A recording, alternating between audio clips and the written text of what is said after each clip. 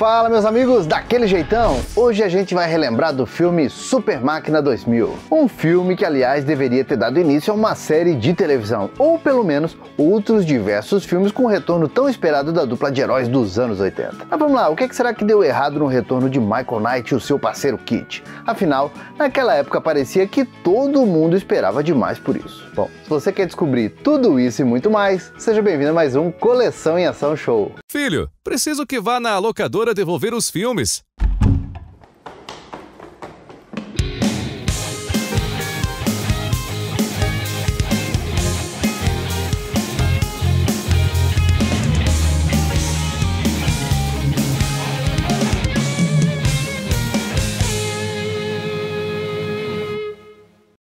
E eu acho que não tem jeito. Todo mundo que viveu os anos 80 e até quem não viveu já ouviu falar na série Super Máquina. Uma criação do grande Glenn Larson, afinal, as aventuras de Michael Knight, vivido pelo lendário ator David Hasselhoff, juntamente com um computador kit instalado em um Pontiac Firebird Trans Am 1982, foi com certeza uma das melhores coisas daquela década.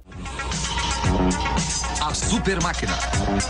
Um voo de sombras ao mundo perigoso de um homem que não existe.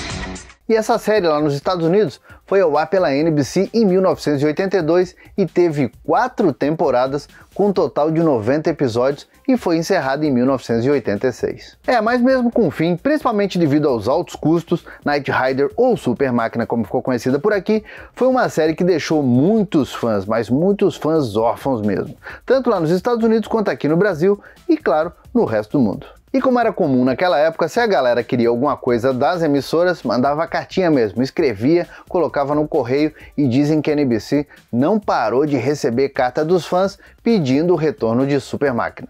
E aí a NBC resolveu ceder os pedidos e com isso reuniu a dupla Michael Knight e Kit para combater o crime juntos mais uma vez. Olha, o ponto positivo é que o David Hasselhoff ainda era um contratado da NBC e também era um cara que declaradamente amava Super Máquina e dizia que tinha sido a série responsável pela fama mundial dele. O lado negativo é que desde 1989 o ator era o protagonista do mega sucesso Baywatch, série conhecida como SOS Malibu aqui no Brasil, vivendo o salva-vidas Mitch Buchanan e também estava com pouco tempo para voltar a viver o velho herói dos anos 80. Mesmo assim, o ator foi lá e disse que poderia voltar a viver o Michael Knight entre três e quatro filmes daqueles feitos para televisão, os chamados filmes semanais dos Estados Unidos. O problema nisso aí é que a NBC achava que a marca Knight Rider em si tinha mais potencial que o próprio ator e o Pontiac Firebird Pretão, e decidiu arriscar um piloto longa-metragem que traria o Michael Knight passando o bastão e ainda atualizaria o conceito do kit para os tempos atuais, no caso, o início dos anos 90. E foi assim que em 19 de maio de 1991 a NBC testou a audiência apresentando o filme Knight Rider 2000, graças a Deus, traduzido simplesmente como Super Máquina 2000 aqui no Brasil. For four years they rode together. A man who did not exist. And a car unlike any other.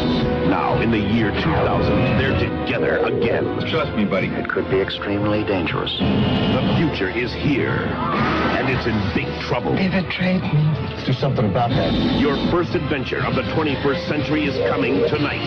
And now, Knight Rider 2000, the motion picture.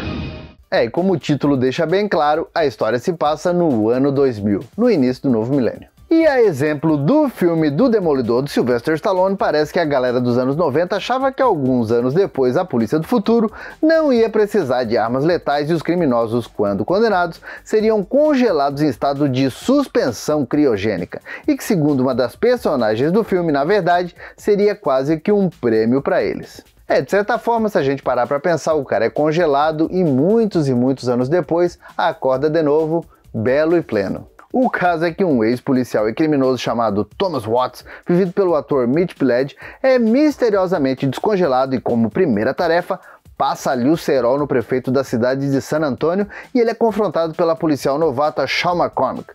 Facilmente, olha, vou dizer uma das personagens mais chatas já criadas e interpretada pela atriz Susan Norma, que, vamos deixar bem claro, não tem culpa nenhuma de ter escrito um papel tão sofrido para ela. O caso é que os policiais da cidade estão usando armas menos letais com atordoadores sônicos, e aí nenhum deles quer isso, eles querem voltar a usar armas de verdade contra a bandidagem. Enquanto isso, a prefeitura quer continuar investindo em novos métodos menos letais, como a reativação do projeto Night Rider, agora chamado Night Rider 4000 e chefiado pelo Russell Maddock, vivido pelo ator Carmen Angenziano, mas ainda na aba da Fundação Night, que claro, ainda tem o carismático Devon Miles à frente da parada, vivido pelo ator Edward Mullar, e ainda tentando valer os desejos e princípios do fundador Wilton Knight. Bom, ponto para a produção por ter trazido de volta o personagem Devon Miles. Afinal de contas, o personagem é importante demais para a história de Super Máquina. Só que depois, os caras conseguem estragar tudo da maneira mais inacreditável possível. Só que antes disso, o personagem vai atrás do Michael Knight, que está aposentado há 10 anos e encontra o ex-herói levando a vida numa boaça, pescando e dando eternos retoques em seu Chevrolet Bel Air 1957. Olá, Devon.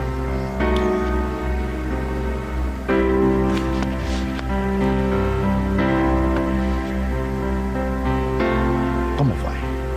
Bem, muito bem.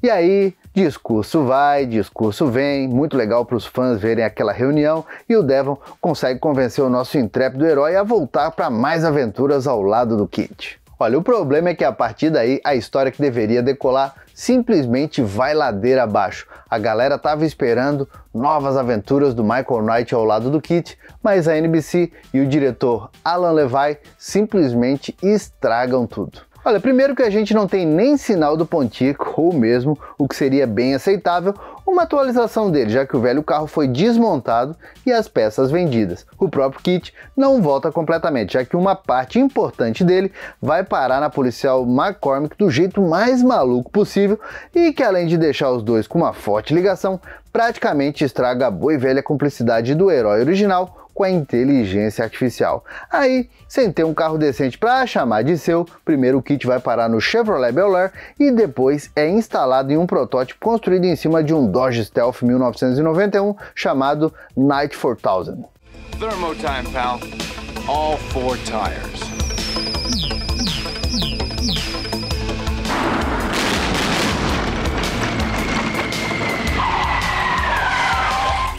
My sonic disabler appears to be on the fritz. Thank you. E olha, não me levem a mal, eu sei que cada um tem a sua opinião, o carro é bonito e tudo mais, mas Super Máquina para mim tem que ser preto e acabou. Deixar ele vermelho só descaracterizou o principal motivo de todo mundo assistir a série clássica. É, no meio do caminho eles ainda fazem o favor de dar um destino ridículo pro personagem do Devon e também praticamente esfregam na nossa cara que a gente nunca mais vai ver uma nova reunião do Michael Knight com o Kit no final do filme. E aí, eles também deixam um caminho aberto para Shawn McCormick e o Russell Maddox serem os novos protagonistas ao lado do Kit Vermelhão na nova série que estava programada para estrear já a partir de setembro de 1991. Mas ó, antes da gente continuar falando sobre como foi a recepção de Super Máquina 2000 lá nos Estados Unidos, quero saber o seguinte: tá gostando desse vídeo? Tá, né? Então bora lá, deixa aquele like felpudo e compartilha. Que tal compartilhar com aquele seu primo, com aquela sua prima, com aquele seu amigo que tinha uma Super Máquina 2000 da Glaslit, mas nunca deixou você brincar? Quem sabe compartilhando esse vídeo, você vai mostrar que sabe perdoar. Super Máquina, cadê você? A Glaslit criou a super máquina à fricção e radiocontrole para você soltar sua imaginação. Estou preso. Usa o turbocompressor. Chegou a grande aventura. Super máquina à fricção e radiocontrole. Bom, quem não soube perdoar foram os fãs, já que eles odiaram o filme e inclusive foi registrado que uma grande parcela do público simplesmente abandonou a história ainda durante a exibição, trocando de canal. É, e sabe aquela galera que escreveu para a NBC pedindo o retorno da dupla? Pois é, essa mesma galera escreveu um monte de cartas novas esculhambando o filme e esculhambando também a atriz Susan Norman, como se ela tivesse alguma culpa disso, né? Mas eles culparam a personagem dela, dizendo que ela estava acabando com toda a história do Michael Knight, com toda a história do Kit e quem era ela na fila do pão para querer ser a nova parceira do Kit, hein? Pois é, e dizem que a NBC até tentou convencer a Universal, que já tinha produzido esse primeiro filme, a fazer mais um longa, abandonando a ideia de série e trazendo de volta o David Hasselhoff, mas a Universal disse que já tinha tomado prejuízo de 6,5 milhões de dólares com essa primeira investida e só faria um novo filme, uma nova produção, se a NBC bancasse as gravações de pelo menos dois filmes consecutivos. E aí, infelizmente, ou felizmente, vai saber, a NBC não quis bancar dois filmes ao mesmo tempo e o projeto foi engavetado. É, e esses roteiros prontos foram parar na gaveta juntos. Só que no futuro isso seria recuperado de uma maneira parcial e modificado para a produção do telefilme Super Máquina 2010. Outra tranqueira que não deu em nada. Mas a gente deixa para falar disso em outro vídeo, hein? Que tal?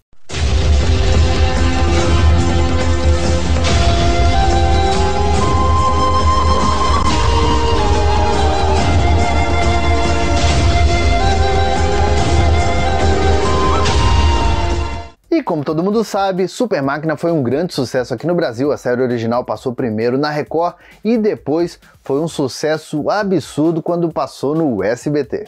Então, Super Máquina 2000 também foi exibido até gastar a fita no SBT dos anos 90, sendo que o filme foi dublado no estúdio Herbert Richards e a gente teve a grande sorte de ter novamente o grande Júlio Chaves como Michael Knight, o lendário José Santa Cruz como Devon Miles e ainda o retorno dele, do Isaac Bardavid, como Kit, já que o nosso saudoso ator e dublador dublou a série original até a terceira temporada e na quarta o André Filho foi quem assumiu a parada.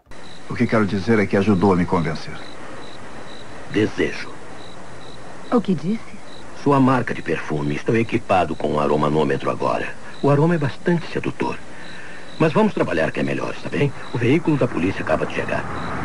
Aliás, olha só, no áudio original do filme, quem também retornou foi o ator e dublador William Daniels, a voz norte-americana do Kit durante toda a série dos anos 80. E tá, a gente sabe, né? A dublagem nacional salvou muito desse filme, principalmente para quem curtia a série original, viu as mesmas vozes, então isso trouxe muita nostalgia e a gente sempre parava para assistir quando esse filme passava no cinema em casa da vida lá do SBT. Mas esse filme teve mais algumas coisas legais. Primeiro que é inegável que o David Hasselhoff é tão carismático e com presença de tela que até se ele fizesse um Michael Knight sequestrado e amarrado e amordaçado o filme todo, ainda assim seria legal. Então é sempre bom ver o ator em ação. Apesar de que a maioria das músicas de ação desse filme são chechelentas demais e chegam a estragar o que está passando na tela. Além disso, a gente também tem umas tiradinhas bem legais, como quando o Kit é reativado e diz que quer jogar Pac-Man, e o Michael dá uma resposta bem engraçada para ele. Estou vendo que você se deu mal desde que nos separamos, Michael.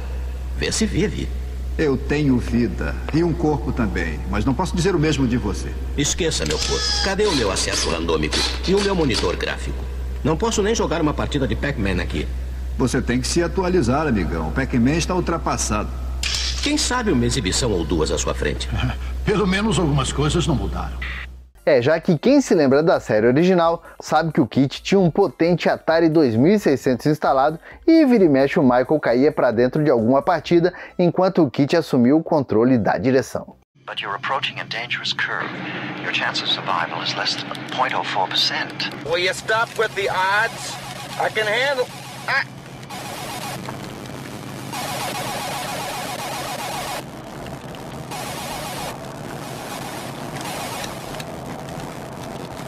Ah!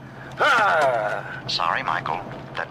Além disso, a gente ainda teve uma participação do ator James Doohan, mais conhecido como Montgomery Scott da lendária série original de Jornada nas Estrelas, vivendo ele mesmo e ainda por cima falando frases do personagem estelar depois de uma confusão criada pelo Kit. Enfim, Super Máquina 2000 é aquele tipo de filme que ou você ama ou você odeia, ou só acha curioso como eu acho hoje em dia. Mas eu quero saber de vocês. Assistiram esse filme no SBT? Assistiram depois? Ó, comenta aqui pra gente falar mais a respeito dele.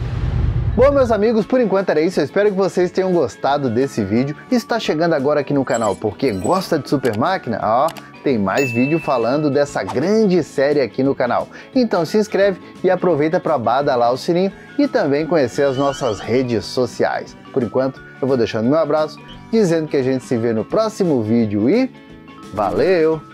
E agora o meu agradecimento todo especial para os assinantes Felpudo Gold do grupo de membros do canal.